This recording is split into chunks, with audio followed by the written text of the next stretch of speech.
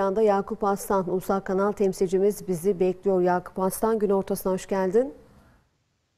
Hoş bulduk, iyi yayınlar diyelim. Teşekkürler Yakup Aslan. Evet, uğradığı suikast sonucu şehit olan Farizade toprağa verildi. Cenazenin ayrıntılarını alalım ve sonra bu suikastla ilgili konuşalım biraz.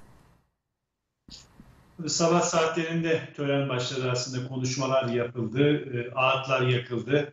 Koronavirüs tedbirleri kapsamında ciddi önlemler vardı. Savunma Bakanlığı'ndaki törende e, aralıklarla oturuldu, maskeler çıkarılmadı. Cenaze namazı Savunma Bakanlığı'nın bahçesinde kılındı. Ardından Naş, e, Tahran'ın kuzeyinde bulunan İmamzade Salih haremine, türbesine geçildi. Buranın avlusunda e, defin işlemi gerçekleştirildi. Buradaki defin işleminde ailesi ve silah arkadaşlarının yanı sıra da katılımcılar vardı. Yine yoğun katılıma izin verilmemişti ama e, kalabalıktan da e, kalabalığın engellenmesi de önlenemedi. İşte koronavirüs tedbirleri kapsamında aslında son dakikaya, dakikaya kadar, son bir saate kadar nereye defnedileceği hakkında bilgi paylaşılmamıştı. Kalabalık olmasın diye.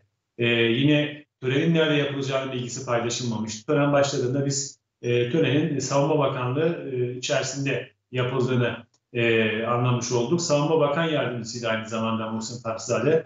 iyi bir bilim insanı ve e, aynı zamanda bürokrattı da Savunma Bakan Yardımcılığının görevini üstleniyordu. Savunma, Savunma Bakanı'nın haberle geçtiği gibi bir konuşması oldu. İntikamının alınacağını söylendi. Konuşmalarda da ağırlıkla bu e, durum söz konusu. Yani konuşmacıların tamamı e, intikamının alınacağı yönünde e, bir fikir birliği aktardılar diyebiliriz. Cenazedeki notları bu şekilde özetleyebiliriz Yeşim. Evet.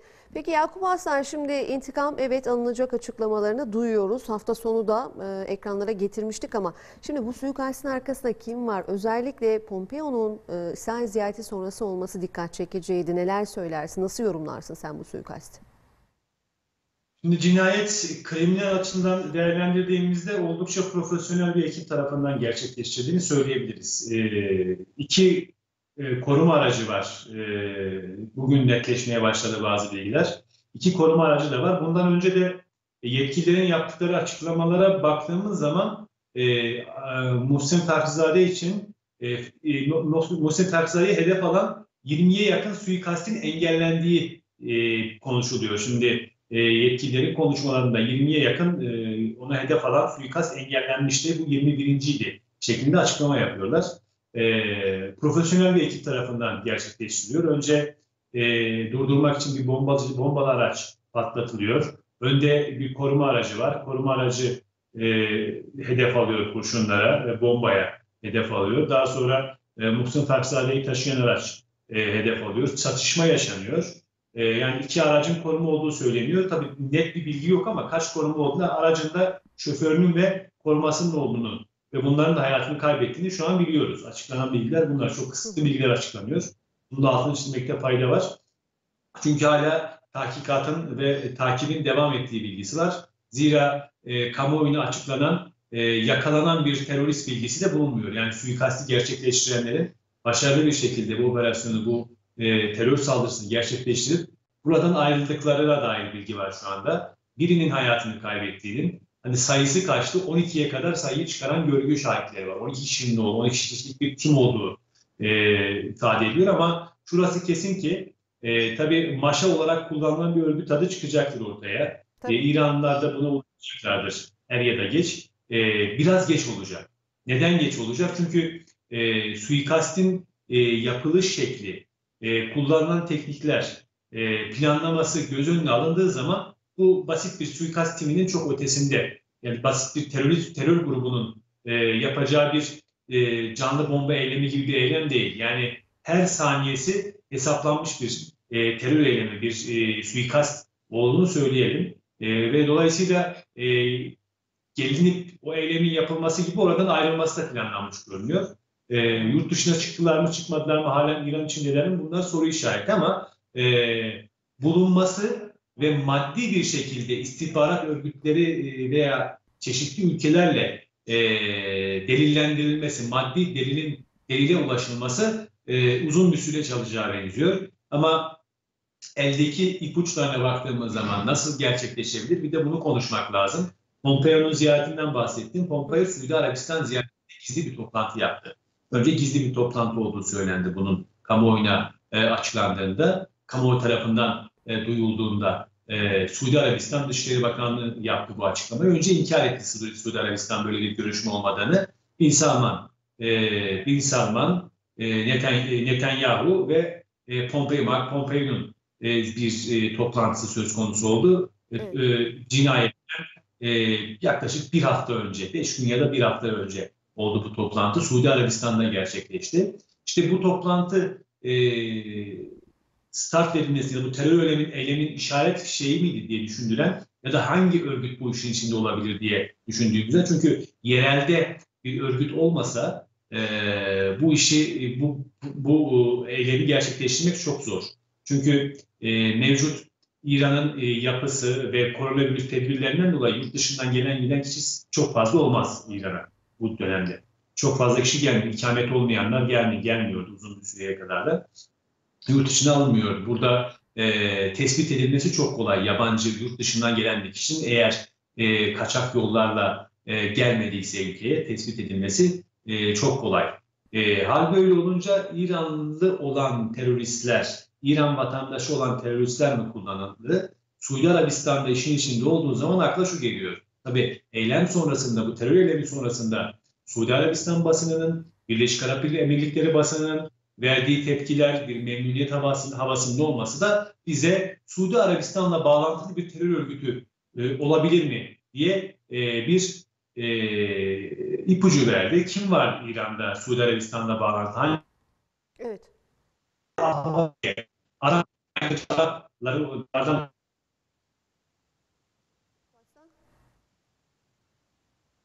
Sanırım evet Skype'da bir sorun var. Birazdan dönebiliriz Yakup Aslan ama biz haberlerle devam edelim.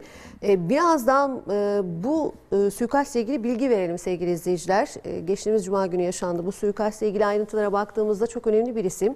Musim Farizade şehit oldu.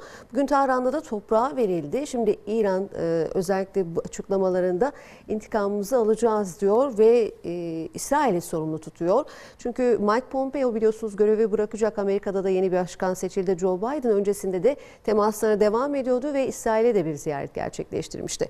Netanyahu'ya bakıyoruz seçimlerden önce yine İran e, özellikle seçim propagandalarının içindeydi. Bundan sonraki süreçte nasıl hareket edeceklerine dair. Almanya tepki gösterdi bu. Suikaste Birleşmiş Milletler tepki gösterdi. Şimdi Almanya'dan Birleşmiş Milletler'den tepki gelirken yine baktığımızda Orta Doğu'da bazı ülkelerden net bir tepki de aslında göremedik değil mi? Yakup Aslan şimdi e, değerlendiriyorduk seninle Almanya tepki gösterdi. Birleşmiş Milletler tepki gösterdi. E, İsrail'le Netanyahu'nun seçim program e, propagandalarında da yine aslında e, İran'la ilişkiler vardı. Bu kapsamda bundan sonra e, özellikle Pompeo'nun gideceği bir dönemde bu suikastlerin daha da artacağını söyleyebilir miyiz?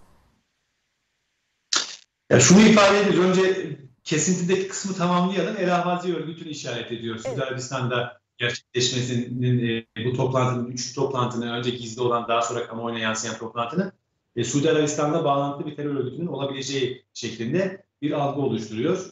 E, bir sonuca ulaştırıyor bizi ama tabii bunun netleşmesini beklemek durumundayız. Ciddi bir tahkikat yapılacak. Bu denli profesyonelce işlenmiş bir cinayetin, bir terör saldırısının kaçış ve e, izleri saklamaya ilişkinde ciddi bir hazırlığının olduğunu düşünüyoruz.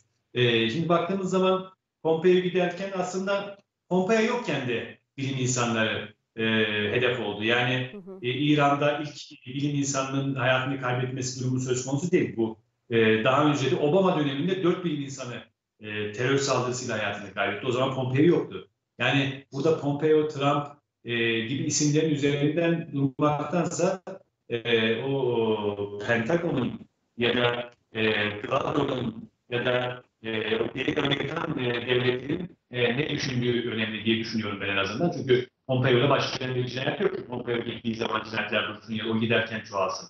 Ben böyle düşünüyorum. E, şunu da söylemek lazım. Yani 1960'lardan başlayan bir süreç e, bilim insanlarının özellikle Batı Asya coğrafyasında hedef alınması. E, ülkemiz de bunların içine dahil. Yani İsrail bölgede benden ya benden yana olacak bilim adamları bana çalışacak. Beni aşacak bir bilim adamı da olmayacak benim karşımda olan, benim projelerimi sekteye uğratan. Hatta nükleer e, çalışmalarda ilk hayatını kaybeden de bir kadın bilim insanıydı, Mısırlıydı. O da e, nükleer nükleer barış barışçıl enerji diye bir program başlatmıştı. E, o da 1960'lı yıllarda suikaste uğrayarak hayatını kaybetti ve arkasından da Mossad çıkmıştı. Şimdi ülkemizde de e, milli e, bağımsız bilimsel çalışmalar Türkiye'yi ileriye götürecek. Türkiye'nin emperyalist ve siyonist ülkelerin daha ilerisine taşıyacak projelerin sahibi olan isimlerin e, çeşitli şaibeli kazalarla ya da terör saldırılarıyla hayatını kaybettiğini biliyoruz. En son Isparta uçağı da bunun bir delilidir. Dolayısıyla böyle baktığımız zaman işte Trump giderken bunu yaptı. Senaryo evet kesin konuşamayız. Kesin bir kanıya varmak çok zor. Ama şu senaryodan da bahsedelim izleyicilerimiz. Yani Trump giderken e, telafis bir sonraki e, kendinden sonra gelen, gelen Amerikan başkanına telafisi zor bir İran-Amerikan ilişkisi bırakacak e, ve İran'a da tekrar nükleer anlaşma masasına oturmayacak bir ortam e, bırakması e, yönünde bir e, düşünceyle bu hamleyi yapmış olabilir mi? Şüphesiz bilgisinin olduğu, bilgisi dahilinde olduğunu söyleyebiliriz. Yani e, özellikle e, terör eylemi sonrası e, retweet yaptığı sosyal medya hesabından paylaştığı paylaşımlara baktığımız zaman e, üzülmediğini de görüyoruz bu bilim, bilim adamının hayatını kaybetmesinden dolayı. E, yani İran'da nükleer e, e, bir de şu yanlışa düşmememiz lazım. Bunu da ifade etmek istiyorum. E, Türk e, haber, Türkiye'deki haberleri izlediğimiz zaman bunu görüyoruz. E, İran nükleer silah teknolojisinin babası ya da kilit ismi diye haberler yapılmaya başlanıyor maalesef. E, İran yıllarca nükleer silah programının olmadığını ifade etti, olmadığını ispatladı. Atom Enerjisi Kurumu, Birleşmiş Milletler, çeşitli uluslararası kurumlar e, İran'a gelerek evet İran'da nükleer silah üretilmiyor e, sonucunu vermesine rağmen e, şu anda da bu haber servis edilirken e, nükleer silah üretici üreten beyin, nükleer silahın beyni, kilit ismi diye haberleştirildi. Bilinçli bir şekilde Batı medyası tarafından bilinçli bir şekilde e, bu şekilde haberleştirildi. Çünkü e, bu cinayete bir meşruiyet kazandırmaya çalışıyor e, Batı devletleri ya da o derin devletler ya da e, bu e, cinayette imzası olanlar ki Netanyahu'nun 2018 yılındaki çalışmasını, e, sunumunu hatırlıyoruz İran'la ilgili yaptığı sunumu. E, bir fabrikayı, biz de daha sonra gittik buraya gördük. Terk edilmiş bir fabrika, burası işte nükleer silah üretilen yer diye e, e, sunumda gösterdi. Daha sonra alay konusu oldu. Yani nükleer silah buradan üretiliyor diye. Fabrikadan görüntüler çekti. Euronics ya da batılı birçok haber ajansı gelip burada görüntü çekti ve e, rezil oldu Netanyahu. Aynı toplantıda da e, Muhsin Fakhrizade'yi e, nükleer silah programının başındaki isim olarak tanıttı. Şimdi biz, bizim Türkiye'de de bu şekilde haber yapıyor. Nükleer silah programının başındaki kişi ama nükleer fizikçi, nükleer programın e, önemli isimlerinden biri e, diye düzeltelim. Bu yanlışı da düzeltelim. O, o tuzağa düşmemek adına bu yanlışı da düzeltmekte sorumluluğumuz olduğunu ben düşünüyorum. İşte e, 2018'de hedef olarak gösterdi. Bu isme dikkat edin, bu ismi e, hafızalarınıza kazıyın şeklinde sunumu yaptı ve iki yıl sonra bu isme bir suikast e, olunca e, ve suikastin ardından da Dünya Haber Ajansları nükleer silah programının başındaki kişi öldürüldü diye e, haberleştirince ve Türkiye'deki yanı başımızdaki komşumuzda olan bir gelişmeyi biz de batıdan alarak o şekilde haberleştirdiğimizde e, evet bu adam yeni bir atom bombası yapacaktı. Ölmesi de hayırlı olmuş şeklinde bir bilinçaltı normalleştiren, normalleştiren, durumu normalleştiren bir e, psikolojiyle karşı karşıya kalıyoruz. Hayır bu bir bilim insanıydı. Evet kilit bir isimdi, önemli bir isimdi. İran nükleer programı Muhsin Fakhrizadeh ile başlamadı ki Muhsin Fakhrizadeh ölümüyle bitsin. Nükleer programı İran'ın sekteye uğrasa da belki sekteye uğrayacak onu bilemiyoruz ama Muhsin Fakhrizadeh ile başlayan bir program değildi. Önemli bir isimdi ama nükleer silah üreten e, ekibin başındaki kişi değildi. Bu düzeltmeyi yapalım. İşte bu cinayeti normalleştirmek, haklı görmek amacıyla e, bu eylem gerçekleştirildi. Bu terör eylemi gerçekleştirildi ve e, hayatını kaybeden e, bilim insanlarının kervanına e, son olması ümidiyle. E, çünkü Batı birçok bilim adamı e, bu hedef oldu. Yani 1993'ten 2006'ya kadar zannediyorsam e, baktığımız zaman Irak'ta 500'ün üstünde üniversite hocası, bilim adamı suikastla hayatını kaybetti. Bundan bir haberiz Yeşim. Bir haberiz bu durumda. Yani o 500 kişi niye hayatını kaybetti? Bizden önde olmasınlar, bizden bağımsız bilim yapamasınlar. Bizim önümüze geçemez teknolojileri. Tabii. Yani tamamen e, burada da e, nükleer enerji anlamında İran'ın ilerlemesinin önünü kesmek amacıyla. Yani siyasi sonuçlar elbet var. Siyasi hedefleri elbette var. Askeri hedefleri, hedefleri elbette var ama bu e, ilk kez dünyanın ya da bölgemizde e, meydana gelen bir durum değil. Umarım son olur. Hatta ülkemizde de meydana gelen bir durumda az önce kesinlikten önce söylemiştim. Umarım son olur ama e, ilim dünyasında bağımsız, milli e, projeler üreten bilim insanlarına hem ülkemizde hem bölgemizde sahip çıkmamız gerektiği kanaatindeyim. Peki. Yakup Aslan çok teşekkür ediyoruz. Tabii süreç çok önemli. Ee, Bundan sonraki dönemde bölgesel işbirliği Türkiye ile e, İran önemli bir komşumuz sonuçta. E, Bu da oldukça önemli. Ayrıntıları aktardığın için teşekkür ediyoruz. İran'dan Yakup Aslan, Ulusal Kanal temsilcimiz bize Fahrizade'nin e, şehit edilmesinden sonraki detayları, cenaze törenini bize aktardı sevgili izleyiciler.